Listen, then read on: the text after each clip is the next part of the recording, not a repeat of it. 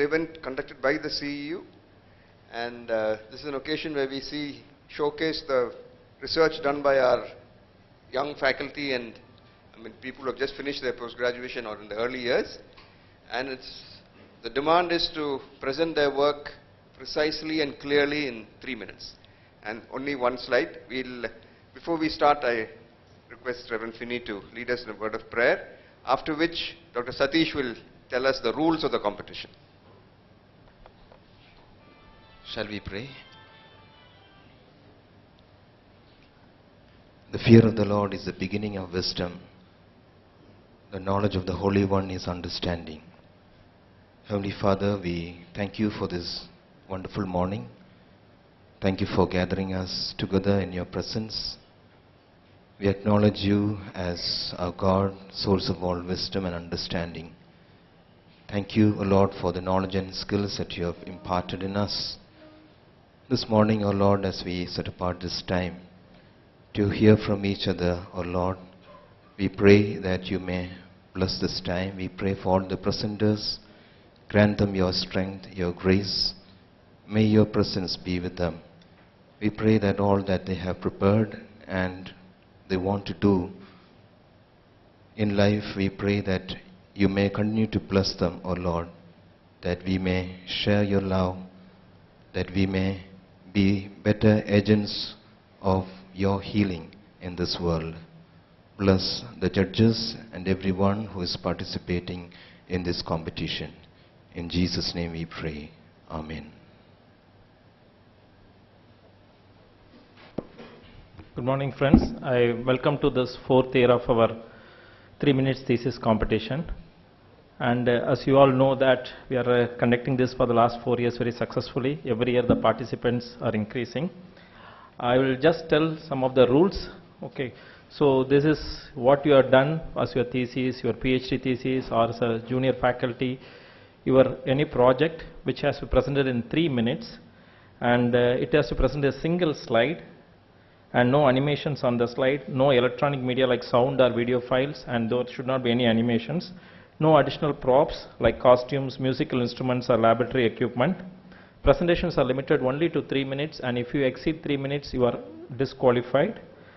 And presentations are to be in spoken word, words, and presentations are considered to be commenced immediately when the presenter starts their presentation. And uh, today we have three judges.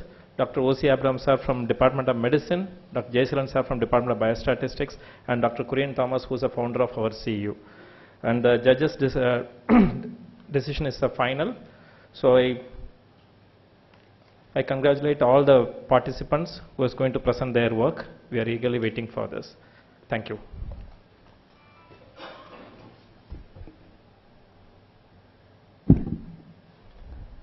Good morning, everyone.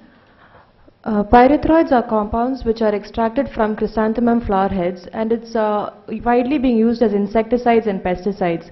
Acute pyrethroid poisoning is uh, commonly seen in our casualty and it's often mistaken with organophosphate poisoning due to some similarity of clinical features. However, the outcome, the treatment and the prognosis greatly varies. So this was an observational study done to look at the clinical profile of pyrethroid poisoning, its outcome and to study the individual compounds if possible. Uh, we included uh, th- 50 patients in the study and the commonest compounds that we encountered were lambda cyhalothrin and uh, cypermethrin which together contributed to 52% of the total sample size which was followed by transfluthrin, fenvalerate and deltamethrin. These form the type 2 pyrethroids which are more toxic than type 1 pyrethroids like alpha-methrin and permethrin which are much lower in number which possibly explains why it's more commercially available. Coming to the clinical feature, the commonest clinical feature encountered were nausea, vomiting and sore throat seen in 78% of the patients which is attributed to the solvent present in the preparation rather than the compound per se. Pyrethroids act on sodium and chloride channels of muscles and nerves causing hyperexcitability leading to hypersalivation, fine tremors and paresthesias which were seen only in 20 to 39% of the patients. Severe poisoning can lead to seizures seen in 3 out of 50 patients and coarse tremor seen in 2 out of 50 patients. Three patients required ICU stay because they came with severe CNS depression and seizures requiring intubation.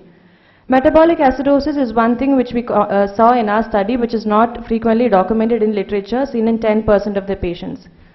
Coming to the individual compounds, lambda cyhalothrin was the commonest compound that we saw with the maximum number of symptoms and the maximum toxic features like severe CNS depression seen in 7 out of 12 patients and seizures in them. This was followed by cypermethrin which had 2, two out of four, uh, 10 patients presenting with uh, uh, CNS depression but no seizures. The other compounds were lesser in numbers and less toxicity. Treatment is mainly uh, supportive and the, as the compound is rapidly excreted in the uh, urine, most of the patients became asymptomatic within 3 to 4 hours and they were discharged from the uh, emergency department itself and even the patients with severe seizures improved within a span of 2 to 4 days. They were extubated and discharged with absolutely no neurological deficits. So in conclusion, uh, pyrethroid, pure pyrethroid poisoning presents with mild to moderate toxicity and even patients with severe toxicity have excellent prognosis when managed uh, symptomatically. The important thing is to rule out a mixed poisoning with OP as uh, many of the commercial preparations have both the compounds which can drastically change the clinical picture. Thank you.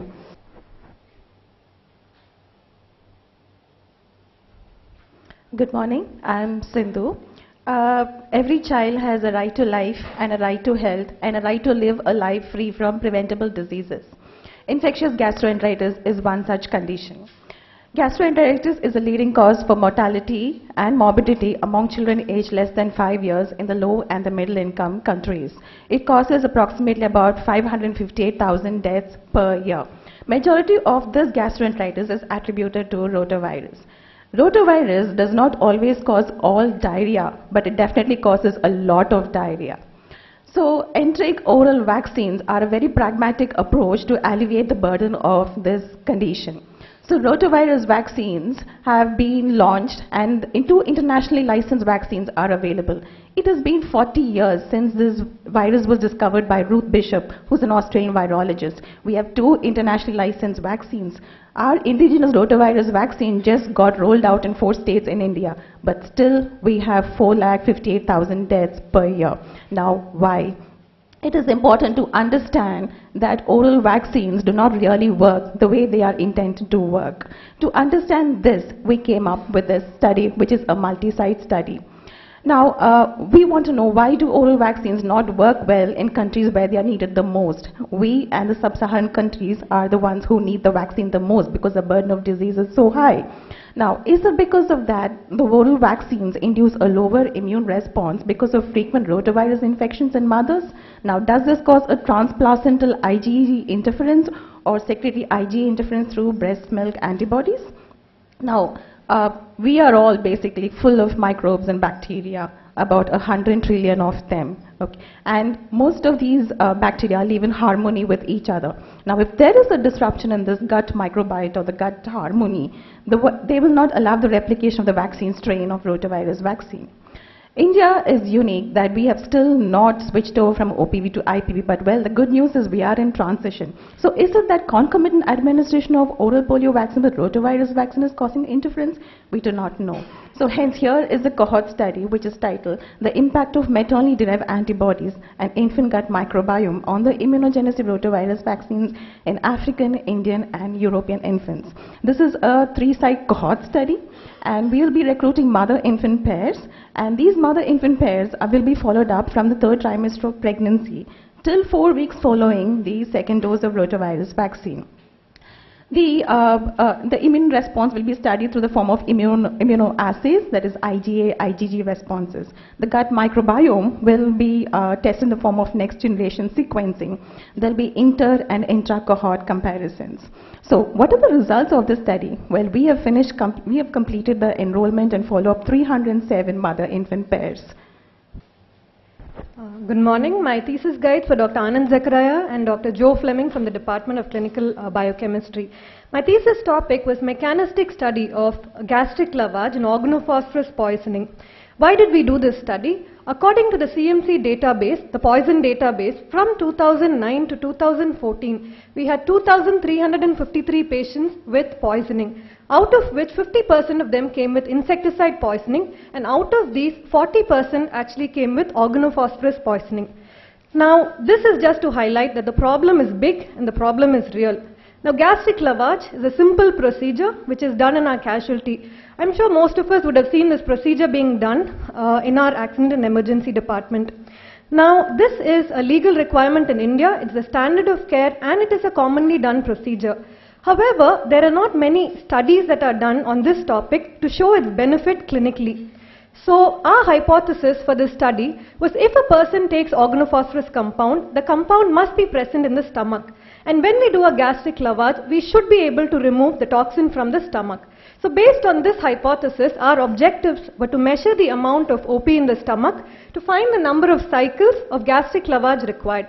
It was an observational study. We included 42 patients who came to our accident and emergency within 6 hours of OP consumption. Now these patients underwent a lavage. They had a first gastric aspirate and subsequent lavages. The samples from this were sent for HPLC testing for the concentration of OP. Subsequently, the patients were followed up. What did we find? The relevant things we found was the amount that was ingested was actually in grams, while the amount that was removed was in milligrams. This showed that the amount removed was very minimal as compared to the amount ingested. However, 70% of them had OP in the stomach. The second relevant thing that we found was 90% of the OP was removed by the first aspirate and the first cycle of the lavage.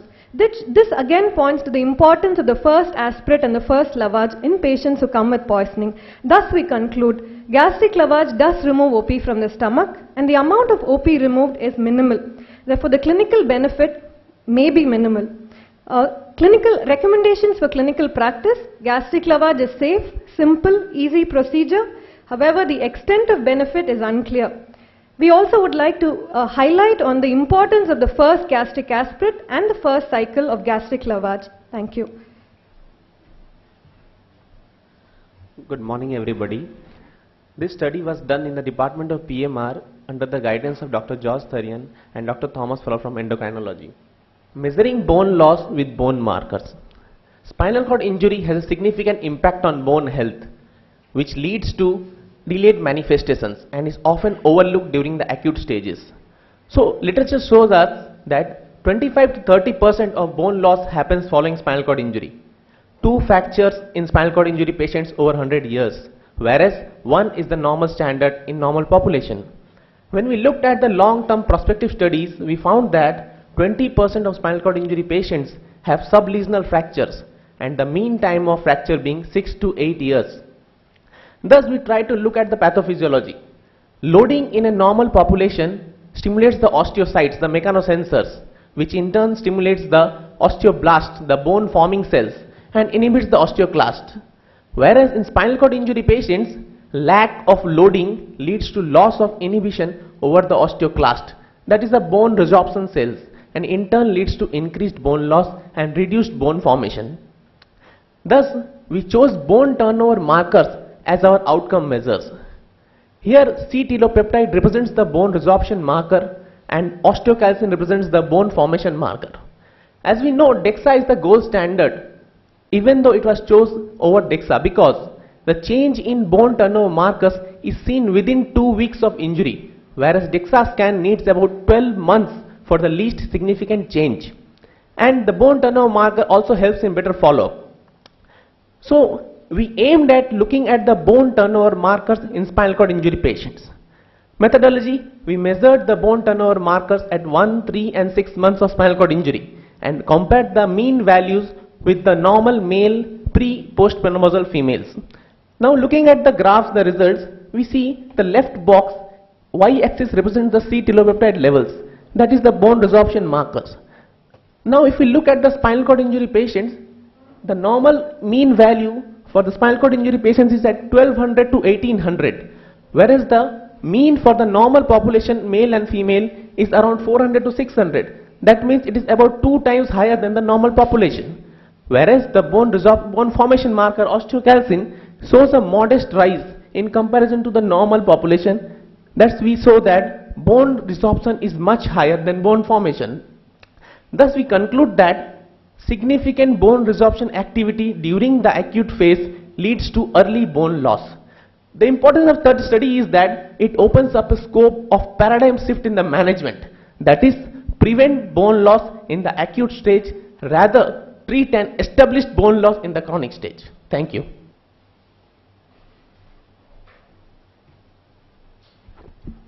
This study was done under the guidance of Dr. Samuel George Hansdak. Um, as most of you would be aware, Helicobacter pylori has been shown to be the causative pathogen for peptic ulcer and related diseases. However, in a country like India, up to 80% of certain populations are infected with Helicobacter, and this does not correlate to gastroduodenal disease. Um, in, in, in, as of now, we treat patients for Helicobacter pylori infection only if they have an abnormal gastroscopy finding and they test positive with a rapid urease test or a biopsy for H. pylori infection. In this study, I tried, other than other questions, I looked at whether it's possible to predict Helicobacter pylori infection without doing a gastroscopy. Um, I studied 152 patients with chronic dyspepsia who had presented for a gastroscopy.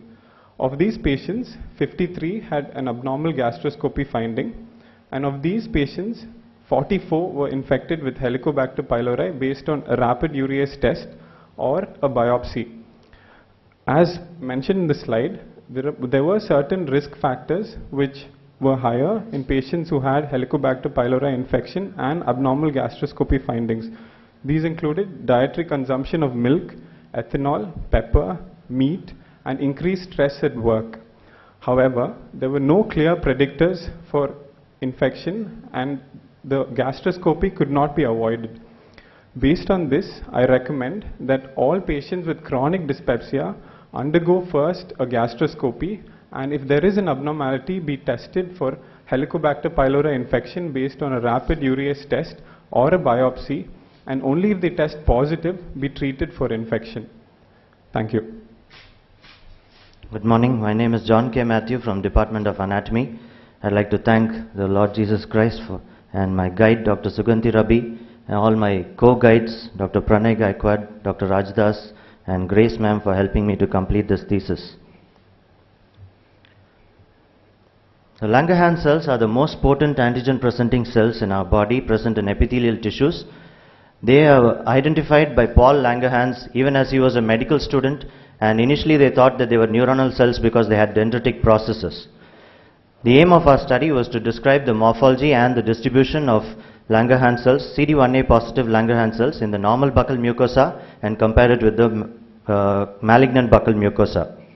With the approval of the Institutional Review Board, we did we collected 16 normal tissues from patients who are undergoing uh, substitution urethroplasty in the Department of Urology and 15 malignant tissues from patients who are undergoing resection of carcinoma in the Department of General Surgery. These tissues were processed in our department and stained using immunohistochemistry technique with the CD1A marker which is specific for Langerhans cells. These brown cells that you see are the Langerhans cells. Morphometric analysis was done using the cellSens image analyzer. What we did is we marked out the basement membrane and for about 25 millimeters of length and within that length we counted the number of Langerhans cells and, and classified them based on described classification. Also 100 Langerhans cells with a clearly defined nucleus were identified, the maximum and minimum diameters were measured and the average between the diameters was taken as the final diameter. The data was entered into Epidata and analyzed with SPSS. The number and the diameter of these Langerhans cells was compared between the normal uh, buccal mucosa group and the malignant buccal mucosa group using, uh, using the student's t-test. Also the, num the number and the diameter of these Langerhans cells was correlated with the stage of tumor as well as the mode of consumption of tobacco by the patients. Figura and Corsi in 1980 described five types of Langerhans cells based on the number of dendritic processes and their branching pattern. Type 1 were cells with a single process and type 2 were cells with a single but branched process. Type 3 were cells with two processes and so on. In addition to all the dendritic types of Langerhans cells, we identified uh, cells without any dendritic processes and we call them non-dendritic Langerhans cells. These non-dendritic Langerhans cells were were higher in number compared to all the dendritic types of Langerhans cells. They were also higher in the normal tissues compared to the malignant tissues. The diameter of Langerhans cells was significantly lesser as the tumor stage progressed and they were lesser in patients who used smokeless form of tobacco compared to those who smoked or used a combination of the two types. Although Langerhans cells have been studied in detail, there remains a mystery surrounding these non-dendritic Langerhans cells and their role in immunity. Thank you. Good morning, I'm Prakash, uh, Assistant Professor in the Department of Biochemistry, and I'm going to present uh, the work done in our department along with my colleagues Muthuraman and Anand. I think they are here. Motivation is basically a phenomenon which explains or which helps drives one's actions. So we wanted to understand what motivates students who join MBBS because it is known that motivation has a huge influence on the performance of students in medical schools. For this purpose, we designed a questionnaire and administered to MBBS batch of 2016. In this, what we wanted to do the students is that we asked them to rate a set of motivational items and a set of possible demotivational items on a scale of 1 to 5, where 1 represents the lowest score and 5 represents the highest score. We analyzed this data using principal component analysis and classified the motivational items into two major components. One, personal motivation, which basically reflected those items which were concerned with improving one's financial and social status. The second component was termed as professional motivation, which included items that were concerned with serving people in areas of need. Similarly, the demotivational items were also classified into personal, which concerned with items that reflected the, if there are any concerns with personal or family time, and professional demotivation if there are uh, items which concerned with future career concerns of students after MBBS. Now, a given student may have differences in all these four components which may together have an influence on the motivation to join MBBS. Now in order to analyze this, we performed cluster analysis by which we classified the study population of students into distinct clusters based on their similarities in the patterns of motivation. And this process we were able to find four clusters and they were named according to the pattern of motivation that, was, that were observed in them. The first cluster we named as service oriented, which had predominantly higher rating for professional motivation items.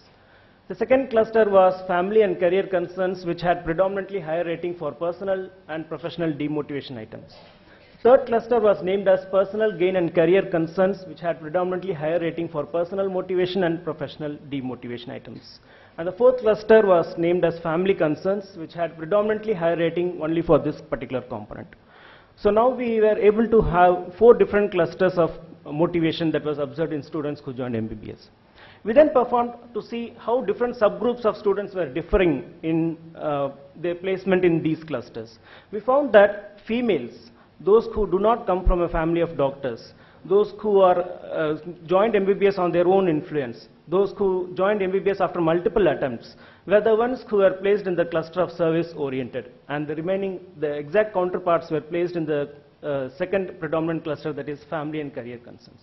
The results of this study has important implications when we consider selection of medical students and also to think in terms of the curriculum whether we match the uh, needs and concerns of the students, whether the curriculum is matched. Thank you. Good morning. I would like to thank my guides, uh, Dr. Pranay Gaikwad, everyone from Surgery 1, and the neurophysiology team um, who helped me through this study.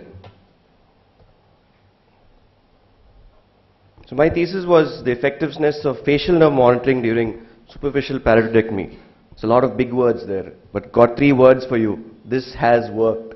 So how it, how we started off this is that in our institution, at least 20 to 60 percent of patients have a form of facial nerve paresis, at least some form of defect for at least two to six months post-operatively.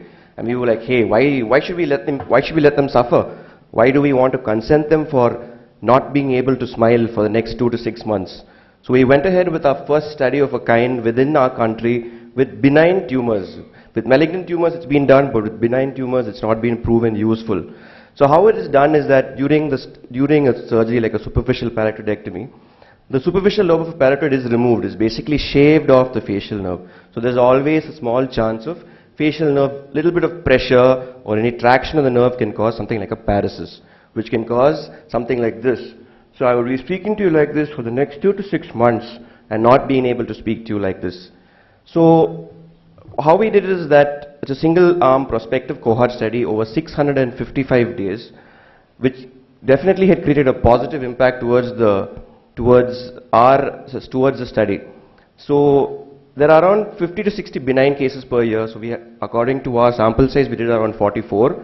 And from my incidence of around 40%, we were able to bring it down to 10 to 20% of facial nerve paralysis per annum. 100% um, patient satisfaction, absolutely no complications as a result of the, of the, of the device, basically small electrodes being placed on the face. So from my, from our point, from our surgical point of view, this is the definitely the way to go forward, facial nerve monitoring for benign superficial parotidectomies. Thank you. A very good morning. I am Dr. Pragadish, Assistant Professor in uh, Pediatric Intensive Care Unit, CMC Vellore. This project was done under the guidance of Dr. Ebor Jacob, Head of PICU, CMC Vellore. As of today's scenario, we all know that one of the most one of the most common cause for under 5 mortality is pneumonia and acute respiratory illness. And when a child presents with acute respiratory distress or failure, it is very important to assess the oxygenation status of the child objectively so that we can plan our management in an effective way. So how are we going to do that? So we conventionally use PF ratio, PF ratio and uh, oxygenation index to assess the oxygenation status of the child. But the problem here is we need to take arterial blood sample of the child to assess these parameters. Believe me, taking a blood sample in a child who is sick is really an Herculean task. Do we have any alternative options? Yes. SF ratio. SF ratio is an emerging concept. What is SF ratio? It is a pulse oximeter saturation which is available bedside divided by FiO2, the oxygen you give to the patient. This is SF ratio. So we formulated our project with an objective to find the correlation between SF ratio and PF ratio and to determine the cutoff of SF ratio in relation to the PF ratio to diagnose ARDS. As we say PF ratio of less than 300 in children amounts to ARDS, we want to find particular cutoff for SF ratio to diagnose ARDS. So what we did, so uh, we recruited all the patients who were admitted in the PICU who required oxygen support for whom we know how much FiO2 we are giving and uh, children with congenital heart disease and chronic lung diseases are excluded from the studies. So for each participants we did SF ratio and PF ratio at the time of admission and 24 hours after admission or when the child uh, respiratory distress worsened. So on analyzing, what we found was there was a strong correlation between SF and PF ratio and SF ratio of less than 180 correlates very well with PF ratio of less than 300 in diagnosing early ARDS in children. So what does it mean? How can we practically apply in our day-to-day practice? For example, a child who presents to a rural hospital or a pediatric emergency with respiratory distress and you have started the child on face mask oxygen which gives around 50% FiO2 and uh, you are able to achieve a saturation of around 88 to 90%. So the SF ratio is 90 by 50 into 100 that is around 180 or less than 180. Okay, this means the child is having a risk of having ARDS. To summarize, SF ratio is a reliable non-invasive surrogate marker for PF ratio in identifying ARDS, especially in a resource limited setting where ABG is not feasible. Thank you. Good morning, everyone. I'm Dr. Praveen uh, from the Department of Endocrinology. I did my thesis under the guidance of uh, Professor Nihal Thomas. Uh, I'd be talking on uh, um, metabolic characteristics in tropical calcific pancreatitis. Uh, tropical calcific pancreatitis is a chronic non-alcoholic pancreatitis characterized by recurrent attacks of pain abdomen and steatorrhea in the first and the second decade. And when diabetes sets in in a later decade, the condition is called as fibrocalculous pancreatic diabetes. So most of our study till now in our department also globally has looked at the metabolic characteristics in FCPD, but nobody till now has looked at the metabolic characteristics in the even before the onset of diabetes, that is at the pre-diabetic stage. So we had our subjects, uh, we recruited around 20 TCP subjects from the Department of Gastroenterology and 15 normal subjects. The crux of our study was the pancreatic clamp, which is a gold standard methodology to assess both hepatic as well as peripheral insulin resistance.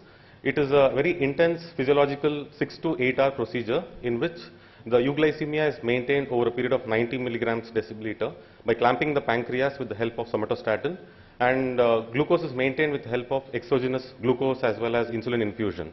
We, uh, we looked at the uh, secretory response through a mixed meal challenge test and also body composition through DEXA and NMR spectroscopy.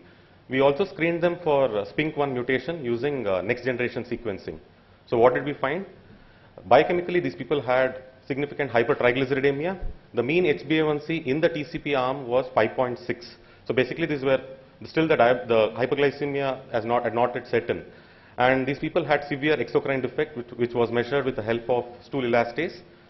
And th- these people had increased hepatic fat, truncal fat, as well as total fat, which reflected in the clamp indices, which had significant amount of hepatic insulin resistance, as well as peripheral insulin resistance, which therefore uh, showed increased number of increased hyperinsulinemia as well as increased glucagon. This was the intriguing part despite pancreatic destruction. So, and these patients were also positive for SPINK1 mutation. 5 out of uh, 15 were positive for the mutation. So combining all this, we have the unifying hypothesis here in which TCP represents the submerged part of the iceberg characterized by recurrent attack of pancreatitis along with altered fat metabolism and insulin resistance. As the disease progresses to FCPD, this insulin resistance along with hyperglucagonemia causes beta cell failure. So what our study, what is the study, what is the clinical implication of our study?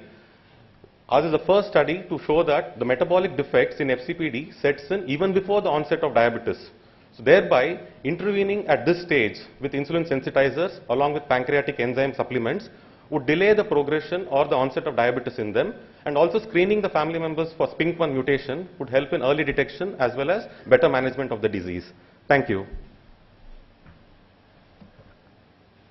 Good morning. I'm Ashish Doot from the Department of Transfusion Medicine and Immunohematology, and my study was done under the guidance of Dr. Joy Mammen. As per National AIDS Control Organization, every 2 out of 1000 blood donated is tested positive in HIV in India. And within last 17 months, 2234 patients actually developed HIV infection post a blood transfusion. It's just the tip of the iceberg because most of the data actually goes unreported and nobody of us will actually like to lie on this bed. Is it the same worldwide? No. Canada last reported its HIV transmission post a blood transfusion in 1985 and US in 2008. Then why it's so frequent in India? Are the blood banks not doing the HIV testing? Yes, they are because it's a mandate for their licensing. What's going unchecked is the quality control. One way of doing a quality check is running a known plasma tested for HIV for every test run in the batch, which sets, serves as a reference material for the whole batch test. But the problem with these biological liquids is they deteriorate very rapidly in a week's time.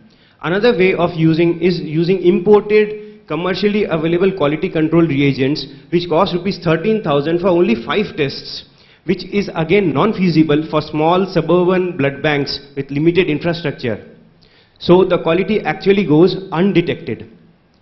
We got a novel idea, novel because this idea was not tested for this purpose anywhere in the world yet. We dried up HIV positive plasma into small aliquots using instruments available in every blood bank big or small. No use of any vortexes, no costly minus 20 degree freezer for uh, sample preservation, no lyophilization. We tested our, the validity of the sample on multiple platforms. The, uh, easily uh, cheap uh, rapid tests, then the uh, second generation ELISA which is easily available in the blood banks, the small setting blood banks, the fourth generation ELISA used in our blood banks and chemiluminescence based assay used in the Department of Virology, a national reference laboratory. Our stability was important and so we tested the sample for every week for six months and to our, uh, as per our estimation, the samples did survive for the period. And the important thing which I would like to mention was the cost of this sample was only 40 paise per quality control test.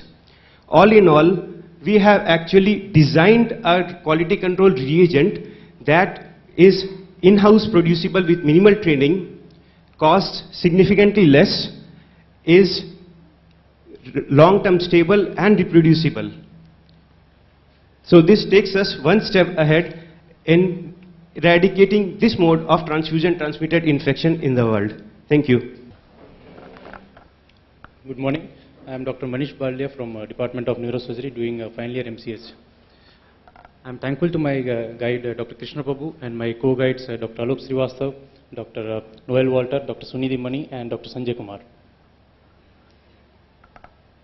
Back pain is a very common problem which every individual experiences at some point of time in their life. Globally, it is, causes very high disability adjusted life years, approximately 88 million daily. Disc degenerative disease causing disc herniation is directly related to back pain and we very frequently see in our clinics. Regenerative medicine with stem cell therapy has shown cure in many diseases. Hence, our aim was to look the effect of the mesenchymal stem cells in a disc degenerative model of mouse.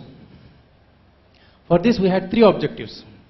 First, to create a mouse disc degeneration model and to culture mesenchymal stem cells from mouse bone marrow and to look the effect of these mesenchymal stem cells in mouse disc degenerated model. Coming to the methodology, we have taken 12 mice for the model creation, which were equally divided into test and control. Among the, all the mice have undergone preoperatively high resolution micro CT in which we have measured the tail coccygeal foci disc height. After measurement, we have, for the creation of the injury, we have devised a novel tool in which we have attached 33 gauge needle to a discarded light microscope and we have created the disc injury with controlled penetration of the needle. All these 12 mice were kept for 6 weeks. After 6 weeks, we have done the postoperative high resolution CT in which we have measured the disc height and found the disc height is reduced, suggestive of disc degeneration. This we have proved by the histopathology with the help of the Masuda scoring degeneration score. We found there was a severe disc degeneration in all the six mice in comparison to the control normal mice disc. Hence, the model was established. The second step was to create the, to culture the mesenchymal stem cells from the mouse bone marrow harvested from the femur and tibia of the mouse. These all cells were freezed and following that we have created 24 new mice model which were divided into three groups, test group, control group and degenerative group.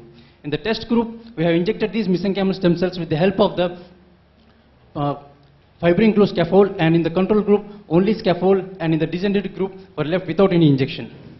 All these mice were kept for 8 weeks. After 8 weeks we have done a high resolution CT in which we found there is an increase in the disc height in the test group in comparison to the control group which shows there is a regeneration of the disc. This we have sectioned the tail and done the histopathology. In histopathology we found there is a formation of the nucleus pulposus which shows that there is a regeneration of the disc and in the annulus fibers also there is an orientation of the collagen fibers as visible in the polarized light microscope. Hence, stem cell therapy has shown degenerative effect in the mouse disc degeneration model. Our further studies are directed to look the effect of these mesenchymal stem cells in human disc degenerative disease. Thank you. Good morning everyone. I am Dr. Abhijit Gundale from uh, a postgraduate fellow in head and neck surgery. Uh, my, I'm thankful to my thesis guide, Dr. J. Rajnikant, who is professor and head of the head and neck unit 2. Full.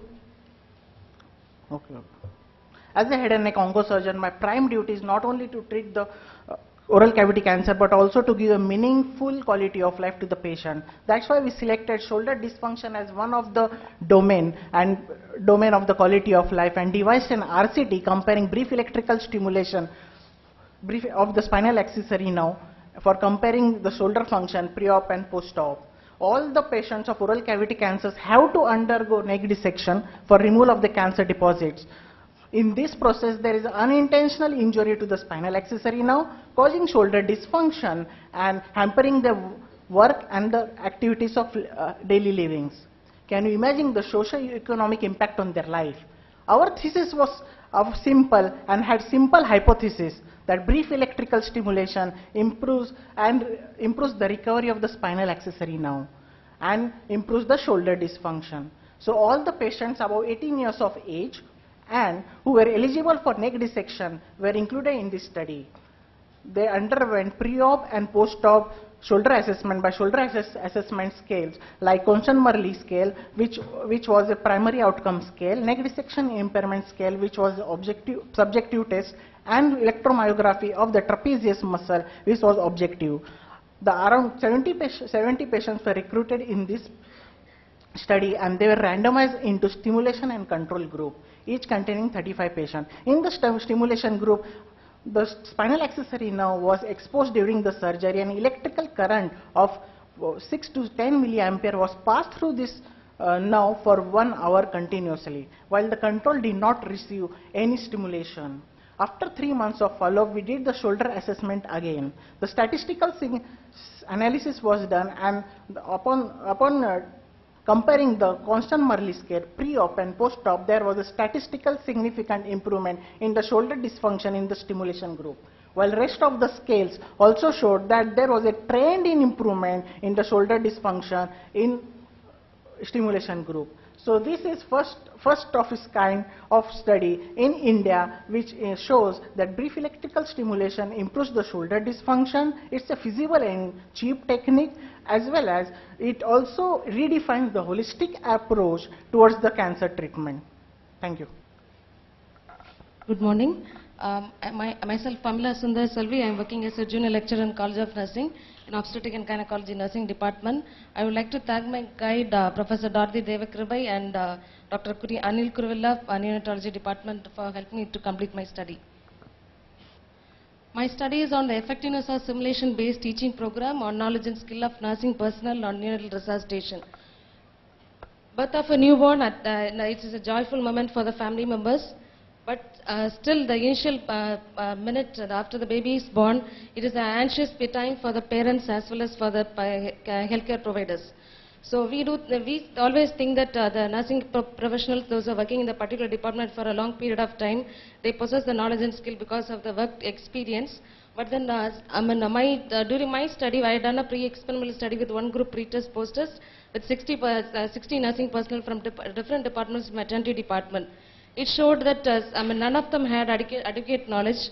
So it was uh, hence I took simulation-based teaching because uh, the didactic uh, classroom teaching methods as well as the lectures, it is not uh, going to be helpful for the nurses or other healthcare providers in gaining the knowledge and the skill which they are supposed to provide in a crucial moment of time.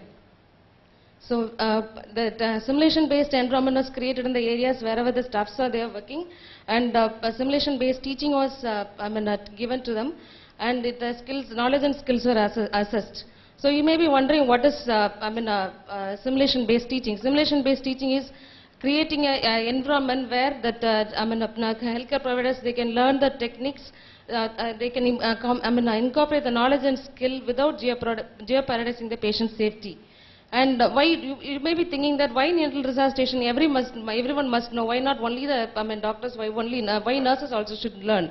Most of the time we don't. Uh, I mean we will be having a multiple deliveries at a time, so that one doctor will not be able to help in that situation where they can uh, have to go for another resuscitation.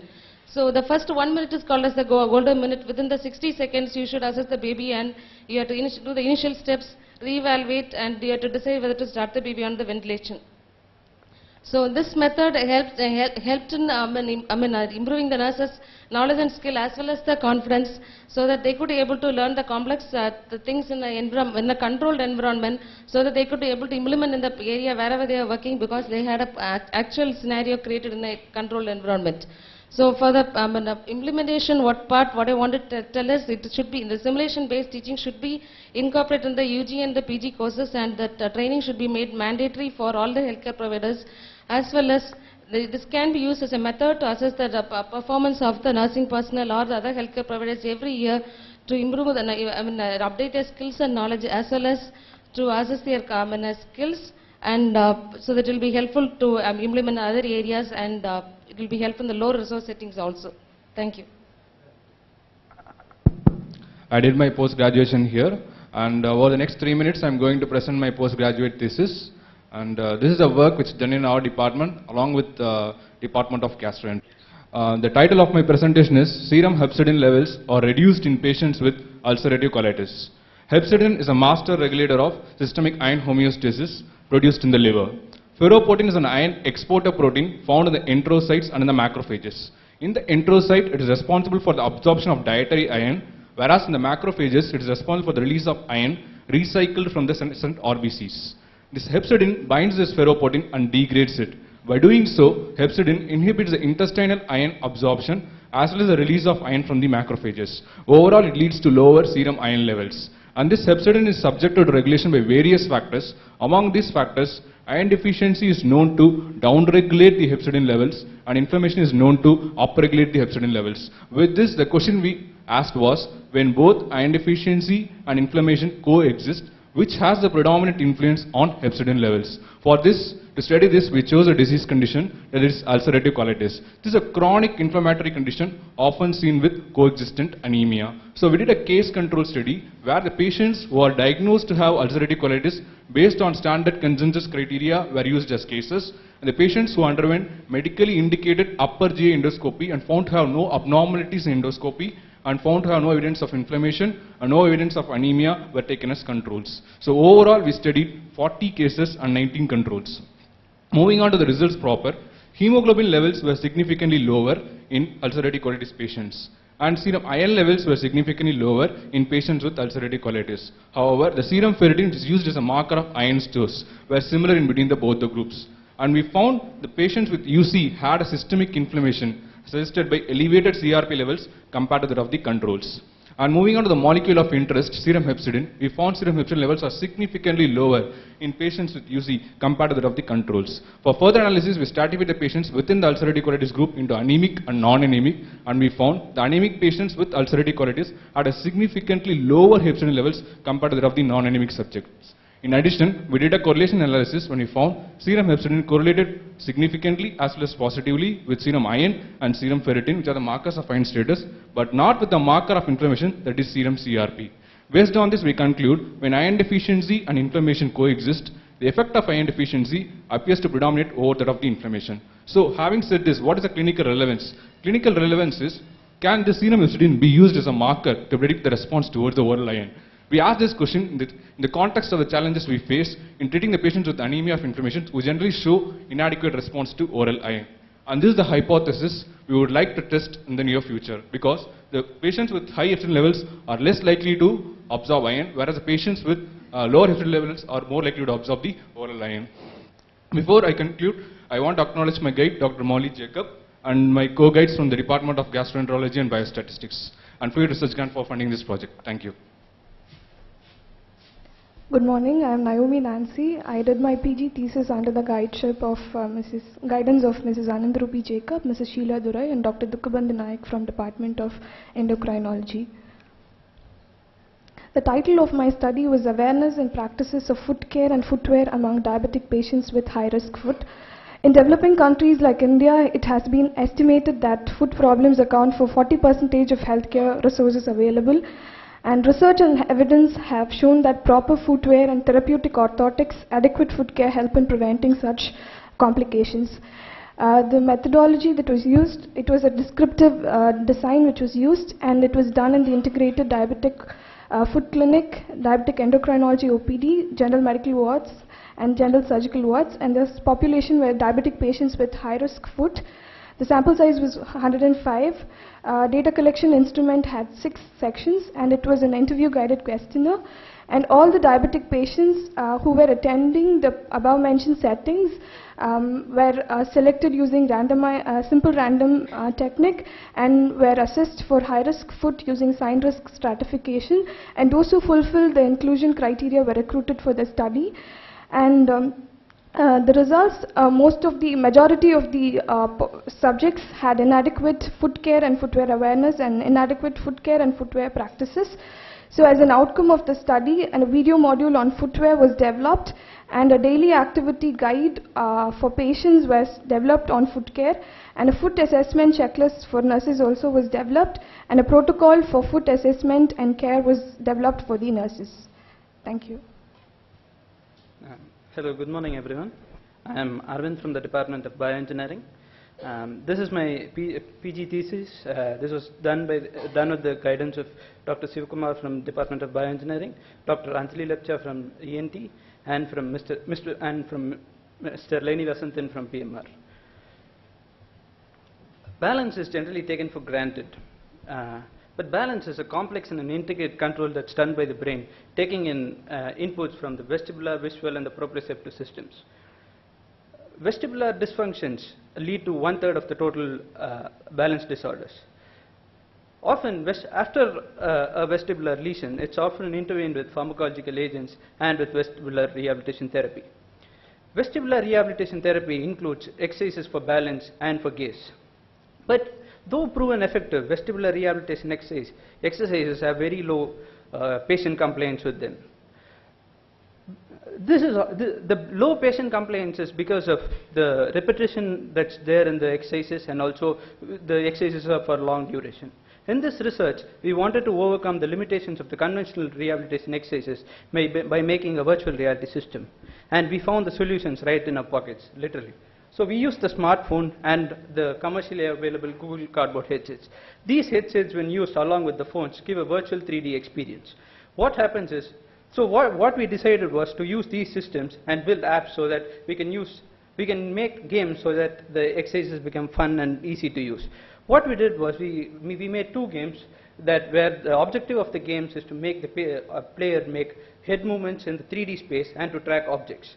So, uh, since the system like this was never used before in a clinical setup, the first, uh, first step was to make a usability study. So, we had uh, recruited 15 patients with unilateral vestibular lesion, 15, uh, 15 healthy subjects, and uh, we did a usability study. The intervention given was 30 minutes exposure to the virtual reality uh, space. The outcomes we measured were the system usability scale and the simulator sickness questionnaires, which are both standardized. We found that the system usability scale was 87%, which means that the system is highly usable. And also we found that the simulator sickness simulator symptoms was 94% in the patients and 22%, 24% in the healthy subjects. This proves that the system was able to stimulate the vestibular systems in the patients. But the most interesting part that we feel are the last three comments that I've given. These are the comments given by the patients, which tell the system was easy to use, the games were interesting and fun, and the, it was better than the regular exercises. We feel after some time, each patient would have a virtual therapist in his hand and would always relate vestibular rehabilitation exercises to being fun and addictive. And also there's another possibility that could be done because if the phone is used, we can also track the head movement that is done and also if, if there's a therapist run, uh, sitting in the office, you could actually see what's happening with the patient and how the patient is progressing. I feel this is the future for rehabilitation and we feel this, this would take rehabilitation being fun. Thank you. I would like to thank my guide, uh, Dr. Anand Zachariah, for this, uh, my MD thesis, and I would also like to thank the Department of Neurochemistry, especially Dr. Rajesh and Parvati for the laboratory assistance. As we know, snakebite is one of the most common neglected tropical diseases all over the world. We have uh, imagined yourselves to be bitten by one of these most deadly snakes, either a Russell's viper or a king cobra. We have uh, uh, in such a scenario, the most important issue which comes into play is whether you develop systemic envenomation or not. Because there are a lot of snakebite cases which escapes without developing systemic envenomation. And the second thing is that once you develop systemic envenomation, whether you develop the complications like severe venom-induced consumptive coagulopathy or acute kidney injury, and the ultimate question is whether you will survive or not. The current issue with the diagnostics of snakebite in India as all over the world is that most of the laboratory tests that are used to detect uh, snake envenomation focuses on uh, the things which uh, develop after the complication has already set in. For example, if we think of whole blood clotting time, it is uh, a test which detects or becomes positive once the uh, coagulation profile has already been deranged or creatinine which will detect renal failure once it has already set in. There is no such diagnostic test in current practice which will detect the venom proteins before it uh, further uh, progresses to become develop complications. So this is an attempt or an exploratory study to move one step ahead to detect the complica uh, to detect uh, to uh, search for a diagnostic assay which can detect the venom proteins by which uh, the uh, diagnosis of systemic envenomation can be made at a much more earlier time by which the administration of ASV can be facilitated at an earlier time thereby preventing the mortality. This is very significant considering the highest uh, mortality rates associated with the snake bite, especially Russell's viper. We use serum phospholipase A2, which is an enzyme which is present in the venom of the snakes, especially Russell's viper, and uh, this has been uh, implicated in the spread of local envenomation. As we know, it is phospholipase. It uh, lyses the phospholipids of the cell membrane, causing spread of enzymes. It also causes degeneration of the uh, presynaptic terminals, implicating in neurotoxicity, also been implicated in hemotoxicity. We used a chromogenic assay to detect the venom proteins, especially phospholipase A2, and we found that there was no significant difference between the snakebite patients with and without systemic envenomation. However, we found that the Viperidae envenomation had a higher phospholipase A2 values when compared to the Elapidae envenomation. Elapidae refers to cobra and the krait. Also, we found that the patients with severe Viperidae envenomation, that is, who developed uh, hemo, uh, uh, required hemodialysis and venom-induced consumptive coagulopathy who required product support had a higher phospholipase A2 values when compared to the patients who did not have these complications. So, and also we found that the phospholipase A2 activity declined over time. So to conclude, it is not a useful diagnostic test, but in the search of this uh, a good diagnostic assay, we may have, we need to search for better assays. Thank you. Three prizes. Okay, so there are three prizes and uh, there's a tie between the uh, second and third. So we'll, to decide that, could we have the slides of uh, Dr. Ashish and Dr. Manish Baldia? We'll take them one by one and if there are any, the judges may want to ask some questions or something like that. Uh, Can you elaborate on the implication of this? Sir, um, uh, we were looking at the disc degeneration uh, process. So we were looking the effect of these stem cells in the healing of the disc degeneration. So we have cultured the mesenchymal stem cells from the mouse bone marrow and we have injected these stem cells into the disc degenerated models. So we had degenerative group, control group and test group. So in the test group we have injected these mesenchymal stem cells with the help of the scaffolds and in the control group we have injected only scaffold, no stem cells and in the degenerative group there were no injection, they are just left like that. So at the end of 8 weeks we have done high resolution micro CT and we have checked the level at which we have injected the stem cells. We found that the disc height is increased in comparison to the control and degenerative group. So there is a regeneration of the disc. This we have proved by the histopathology section and in the Safranin O stain which stains for the cartilage basically we have seen the nucleus pulposus reformation in the test group where we have injected the stem cells. But if you see the control group and the degenerative group there is no formation of nucleus pulposus, no cartilage. Then we have to look into the annulus fibrosus also. So what is happening to the collagen fibers? To image the collagen fibers, we have done polarized light microscopy with the help of the Sirius red stain, in which we can clearly see the orientation of the collagen fibers. In comparison to the control group, where the orientation is completely distorted, in the test group we can see the reorientation of the collagen fibers. We can see the healing of the collagen fibers in the annulus fibrosus. This shows that these stem cells are showing the healing in the degenerated discs. So our further implications are to look the effect of these stem cells in human disc degenerative diseases, which can prevent the usual our surgery discectomies and after even after discectomies many patients keep suffering from the chronic back pains even though the radicular pain is improved but the back pain is not improved. Yeah, uh, in your the slides do not reflect the the kind of number of animals that you have tried and the statistical part of that.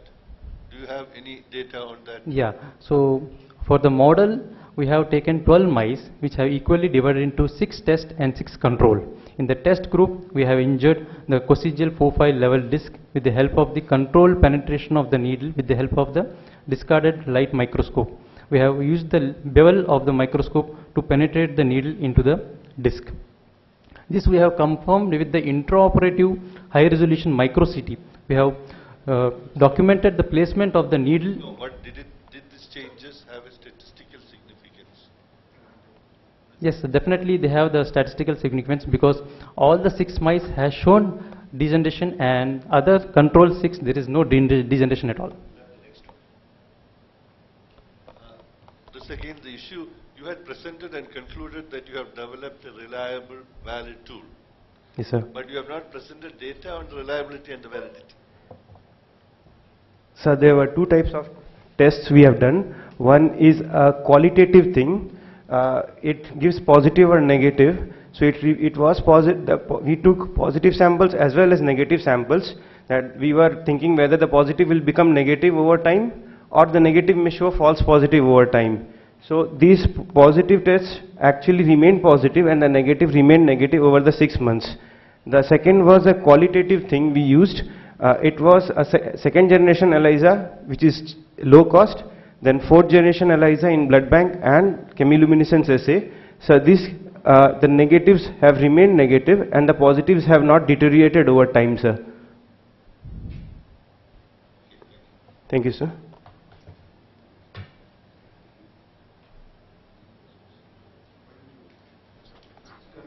I'll ask the judges to give some general comments and then give out the prizes. Well, uh, I had a very interesting uh, session and all of you have taken tremendous efforts to present uh, a, a whole lot of data in such a short time. And I want to congratulate all of you who, who participated in this.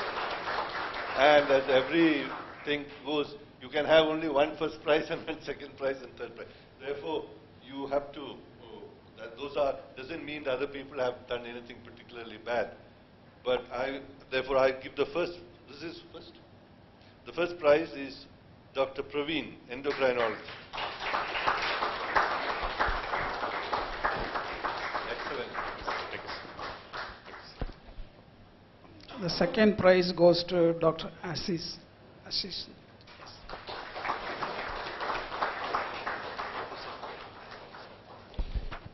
The third prize winner is uh, Manish from Neurosurgery.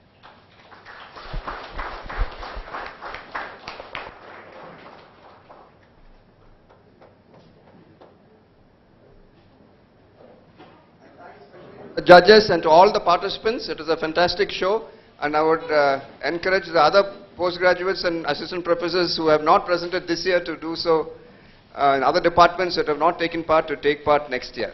Thank you.